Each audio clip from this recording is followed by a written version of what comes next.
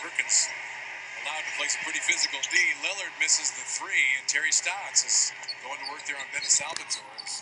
Perkins had two hands on all of which Barton blocks the shot from behind, and it pins into the rim. That'll be a jump ball at midcourt. Yeah, and that's what Barton has to do. He has to show athletic ability like Batum does. Good play by the rookie Barton from behind to catch up with Liggins and force the jump. And you can put anybody you want